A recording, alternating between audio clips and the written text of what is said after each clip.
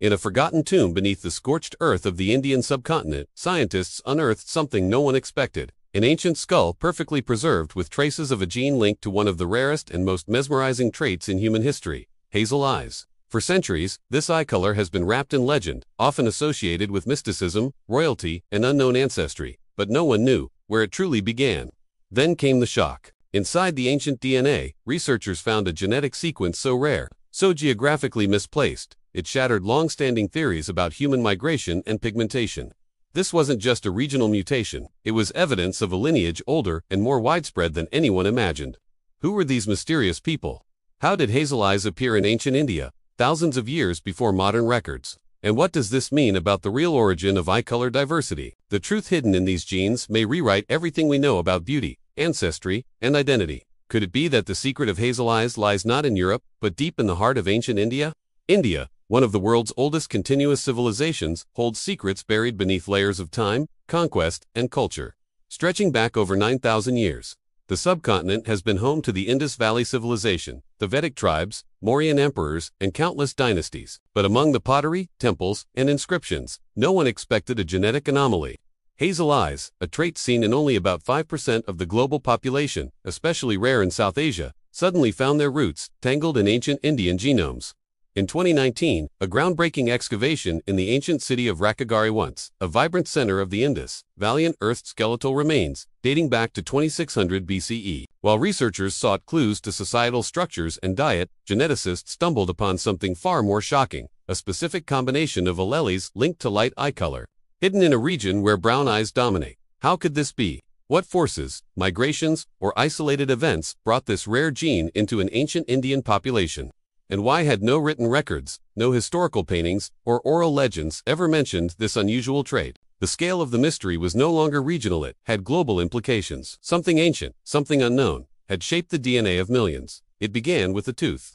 During a routine analysis of a female skeleton unearthed at Rakhigarhi, researchers extracted a molar intact, despite 4,000 years underground. Deep within its pulp, perfectly sealed from time and decay, was ancient DNA. The lab results took weeks, but when they arrived, they didn't just reveal ancestry, they exposed a genetic blueprint thought to be exclusive to regions thousands of kilometers away. Among the standard sequences of South Asian heritage appeared an anomaly, a rare mutation on the HERC2 gene, the same one strongly associated with hazel and green eye pigmentation in modern Europeans.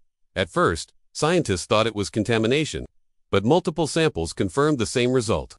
The ancient woman had carried the genetic potential for hazel eyes. More startling, still she wasn't alone. Other remains from different layers of the same excavation began showing similar markers. It wasn't a fluke. This was a pattern, a window into a forgotten genetic legacy. Who were these people, carrying traits thought foreign to their soil? Could an ancient migration unknown to historians have brought this DNA to India? Or was this the original source, and everything we believed about hazel eyes was completely backwards? As the genetic findings sent shockwaves through the research community, a multidisciplinary team mobilized geneticists, archaeologists, linguistic experts, and historians each determined to trace the origins of this anomaly. They re-examined not only the Rakhigarhi site but also remains from other ancient settlements across the subcontinent, Mehrgarh, Kalibangan, and Lothal. In each case, samples were tested with modern sequencing technology, focusing on the OCA2 and HERC2 genes, both essential for regulating eye color. The results were staggering. Multiple remains, scattered across time and geography, displayed the same genetic markers. But how could this be? South Asia was believed to have been genetically isolated from the northern and western gene pools during that era, and there was no archaeological record of mass migrations or invasions that far back. One possibility emerged.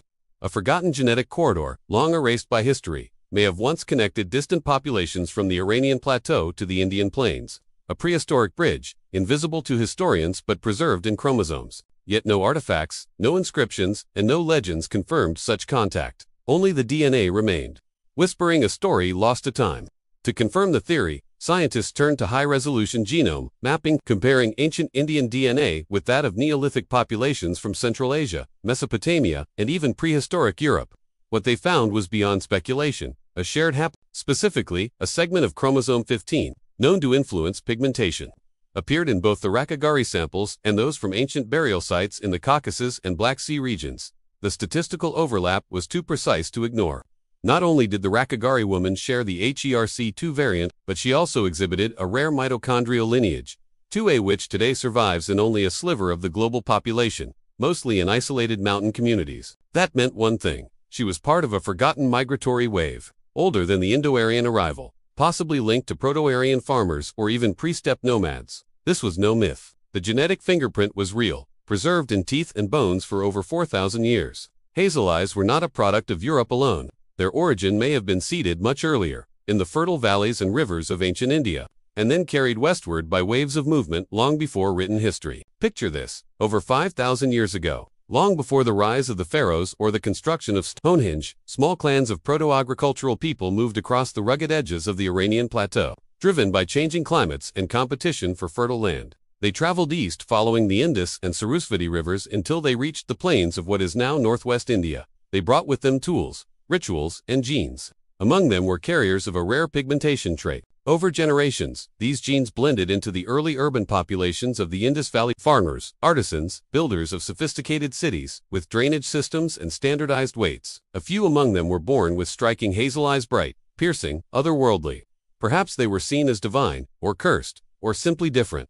We may never know. As centuries passed, wars, climate shifts, and cultural collapses erased their legacy, but not their DNA. Today, descendants of those ancient migrants walk among U.S. scattered across continents, unaware that the light in their eyes is a living memory of a forgotten journey across the cradle of civilizations. The story of hazel eyes is not just about color, it's a story of identity, migration, and ancient memory written in our genes. What began as a mysterious trait in modern humans has now been traced back to a silent people whose bones slept beneath Indian soil for millennia. They left no kings, no monuments, no myths, but they left DNA coded whispers of who they were and where we come from. Today, in a world obsessed with borders and categories, this discovery reminds us our ancestry is not a straight line, but a braided river of migrations, unions, and forgotten encounters. Hazel eyes, glowing quietly in faces across the world, are not just a European legacy. They are a testament to the hidden currents of human history currents that flowed through ancient India long before they reached the West. And now that science has revealed the origin, what other traits, what other stories, still lie buried in our blood? If you were surprised by this revelation, imagine what we'll uncover next. Don't forget to like, subscribe, and dive deeper with us into the mysteries of human history. Because the truth is always waiting, just beneath the surface.